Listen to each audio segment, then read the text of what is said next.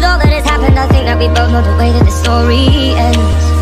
Then only for a minute, I want to change my mind, cause this just don't feel right to me.